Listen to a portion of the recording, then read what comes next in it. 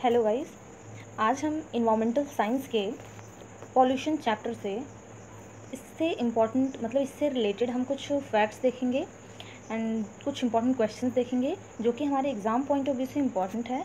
And कुछ concept देखेंगे and types of pollution देखेंगे। क्या होता है पॉल्यूशन कैसे होता है? इफ़ेक्ट क्या होते हैं? ह्यूमन क्या पे ह्यूमन पर उसका क्या असर पड़ता है?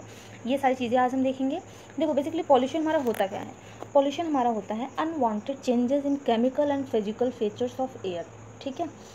Air and water and land land environment भी हम कह सकते हैं उसको। That are dangerous to human देखो पॉल्यूशन किसी भी तरह का हो, लेकिन वो डेंजरस तो होता है। ह्यूमन के लिए भी होता है और अदर ऑर्गेनिज्म के लिए भी होता है प्लांट के लिए होता है, ठीक है? और ह्यूमन की लाइफ की कंडीशन को इफ़ेक्ट करता है। एंड जो हमारा ये पॉल्यूशन है, ये डेंजरस होता है। हर हाल में ये डेंजरस ही होता है। Dangerous to human and other organism their life condition industrial process and cultural achievement are called हमारा पॉल्यूशन ठीक है? ये बेसिकली हमारा पॉल्यूशन होता है।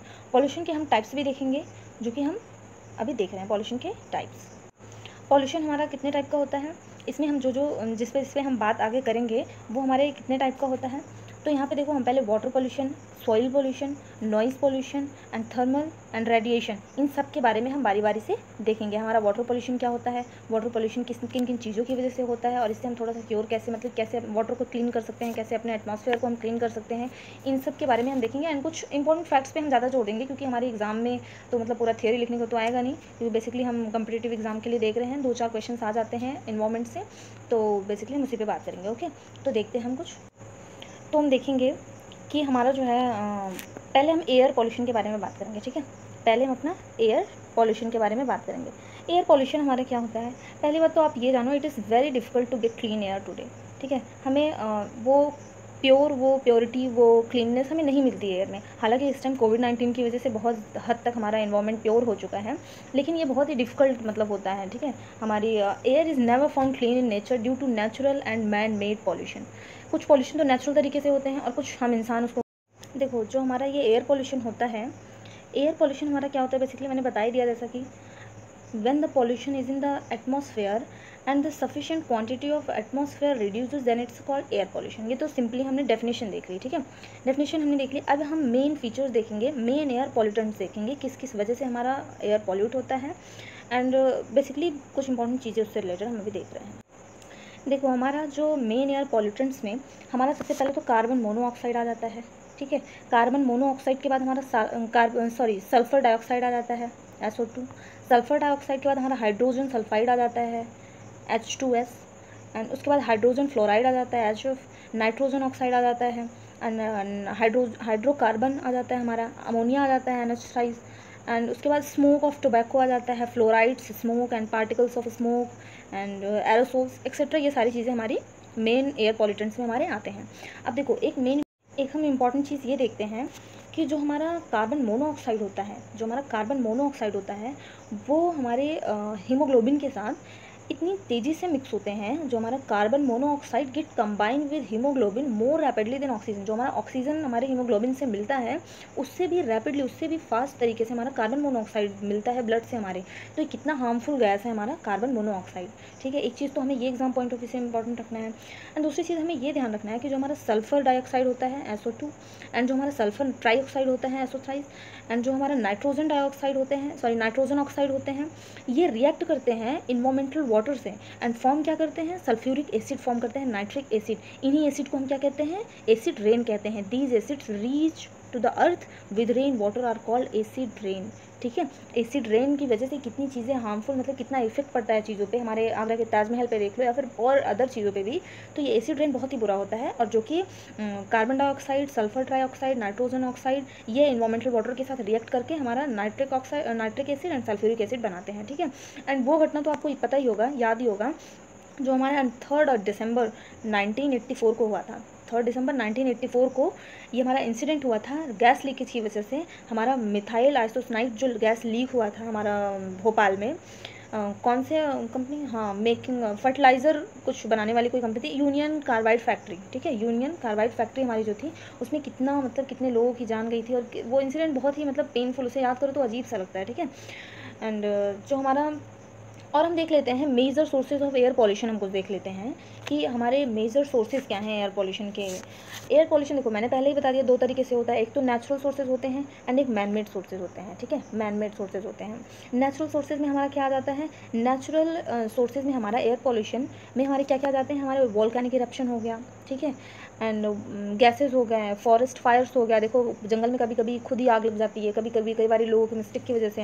एंड मार्स गैसेज हो गया deflation of sands and dust हो गया पॉलन ग्रेन ऑफ़ फ्लावर्स हो गया। ये सब नेचुरल सोर्सेज में आते हैं एयर पॉल्यूशन के ठीक है? एंड सॉइल सॉइल इरोजन तो मैंने नहीं सॉरी सॉइल इरोजन तो नहीं पॉलन ग्रेन ऑफ़ फ्लावर्स हो जाएगा कॉस्मिक डस्ट भी आ जाएगा इसमें ठीक है? कॉस्मिक डस्ट आ जाएगा एंड इनऑर्गेनिक और वेजिटेटिव डिके भी हमारा आ जाएगा इसमें ठीक है? And extra terrestrial bodies smoke and यही सारी चीज़ें हमारी इसमें आएँगी। नेचुरल सोर्सेज में। एंड मैन मेड में हमारा क्या क्या आ जाएगा? पहली बात तो इंक्रीज इन पॉपुलेशन आ जाएगा, जो कि मैन मेड मतलब इंसानों के द्वारा ही हम कह सकते हो रहा है। एंड डिफॉरेस्टेशन आ जाएगा बर्निंग ऑफ़ फॉसल फ्यूल्स आ जाएगा वैकुलर इमिशन आ जाएगा रैपिड इंडस्ट्रियलाइजेशन आ जाएगा। ये सारे मैन मेड सोर्सेज के अंदर, अंडर में आ जाएँगे, ठीक है? तो इंक्रीज इन पॉपुलेशन कैसे अपना ये मतलब एयर पॉल्यूशन में पॉपुलेशन का क्या योगदान है? थोड़ा सा जल्दी से देख लेते हैं। जो हमारा ये इतने रैपिडली इंक्रीज़ हो रहा है the rapid increase in population is one of the most important factor of population air population pollution sorry air pollution में। ये हमारा जो है एयर पॉल्यूशन में एक बहुत ही, जो इतनी तेज़ी से बढ़ रहा है इंक्रीज़ हो रहा है पॉपुलेशन ये तो एक मेन फैक्टर है मैन मेड सोर्सेज में, जो कि हमारा एयर पॉल्यूशन का कारण बन रहा है, ठीक है? जिस हिसाब से हमारा ये पॉपुलेशन बढ़ रहा है if the rate continues the rate ऐसे इस रेट से अगर हम हम बढ़ते रहे, हमारा पॉपुलेशन हम लोग मतलब इस वर्ल्ड की पॉपुलेशन बढ़ती रही then the population would be double every thirty five year हर पैंतीस साल में पॉपुलेशन डबल होती रहेगी, ठीक है? तो ये कितना ही सोचने की बात है, इसमें मतलब गवर्नमेंट को भी कुछ कदम उठाने चाहिए, हालाँकि। और देखो, जब इंक्रीज़ होता है पॉपुलेशन में तो global warming and loss of forest and wild life species सबको खतरा होता है, ठीक है? वाइल्ड लाइफ स्पीसीज़ भी बहुत ज़्यादा इफेक्टेड होती है। जब इंसान इंसान हर जगह रहेंगे तो बेचारे मतलब ये जानवर कहाँ जाएँगे? तो ये भी धीरे धीरे गायब होना शुरू कर दे रहे हैं। तो इनके, इसमें इनकी क्या गलती है? इसमें हम इंसानों की ही गलती है कहीं ना कहीं। अब देखो, अगला हमारा मैन मेड रिसोर्सेज में क्या आ जाएगा? डिफॉरेस्टेशन आ जाएगा। अब डिफॉरेस्टेशन मतलब कटिंग ऑफ़ प्लांट्स कितना ज़्यादा इफ़ेक्ट डालता है हर तरीके से, ये तो हमें बताने की ज़रूरत नहीं पड़ेगी, ठीक है? अब देखो, अगर हम एक ऐसी बात मुझे याद आ गई, अगर हम सबसे ज़्यादा मोस्ट इंपॉर्टेंट गैस देखें, जो हमारा इंडोर एयर पॉल्यूटेंट होता है, वो हमारा होता है रेडॉन गैस ठीक है? ये इंपॉर्टेंट चीज़ है रेडॉन गैस अभी अचानक से मैंने बोल दिया। अब हम कहाँ पे थे? डिफॉरेस्टेशन पे थे। तो कटिंग ऑफ़ प्लांट्स पे हम थे। Trees and forest has disturb of the balance of किसका? ऑक्सीजन का। बिल्कुल ऑक्सीजन के बैलेंस को नेचर में डिस्टर्ब करके रखा है, जो हम मतलब ये इनडिस्क्रिमिनेट तरीके से जो हम प्लांट को कट करते हैं, ठीक है? अब देखो, जो डेवलप्ड कंट्रीज़ होती हैं, वो, देखो जंगलों को काटने के कई सारे रीज़न होता है। कभी इंडस्ट्रियलाइजेशन की वजह से, कभी पेपर बनाना हुआ मतलब बहुत सारे जंगलों के तो बहुत सारे ही वर्क हैं तो मतलब लोग, देखो जो डेवलप्ड कंट्रीज़ होती हैं हमारी, वो seventy one percent of the world's paper production करती हैं, ठीक है? देखो एशिया जो हमारा है ना, वो लार्जेस्ट प्रोड्यूसर ऑफ़ पेपर में मतलब काउंट होता है उसका, ठीक है? अब देखो हमने शॉर्ट शॉर्ट में हम देख लेते, ज़्यादा डिटेल में नहीं जा रहे, कुछ इंपॉर्टेंट फैक्ट्स देख ले रहे हैं। डिफॉरेस्टेशन हो गया एंड अब बर्निंग ऑफ़ हमारा फ्यूल्स में हम आ गए। बर्निंग ऑफ़ फ्यूल्स में हमारा बर्निंग ऑफ़ फॉसल्स फ्यूल्स में हम आ गए सॉरी तो जो हमारा फॉसल्स फ्यूल्स को बर्न किया जाता है about ninety ninety seven sorry ninety नहीं ninety seven percent of the energy is generated by fossils fuel जैसे कोल हो गया हमारा ऑयल हो गया नेचुरल गैस हो गया हमारा, ठीक है? इन सब की वजह से। एंड जो हमारा मेजर फ्यूल बर्निंग सोर्सेज होते हैं automobile thermal power plants heating of plants and industrial process burning of fossil fuels produced about two third of the SO two ठीक है? ये हमने देख लिया। एंड हम देख लेंगे व्हीकल एमिशन में अगर हम देखेंगे तो अब हम व्हीकल एमिशन देख लेंगे रैपिड इंडस्ट्रियलाइजेशन देख लेंगे थोड़ा सा। देखो, जब हम बात कर रहे थे अभी व्हीकुलर एमिशन पे तो इसमें इसमें यह बताने की ज़रूरत नहीं है ट्रैफ़िक को देखते हुए कि मतलब कितना ज़्यादा ही सड़क पे चलना मुश्किल हो जाता है, सांस लेना कई बार मुश्किल हो जाता है तो इससे हम अंदाज़ा लगा सकते हैं कि हमारी सड़क पे जो गाड़ियाँ चल रही हैं, इससे हमें कितना ज़्यादा खतरा है। मतलब जब हम फील कर रहे हैं वो चीज़ें तो एटमोसफेयर में जाकर के वो कितना ज़्यादा पॉल्यूशन क्रिएट कर रही हैं, वो तो मतलब पता ही होगा।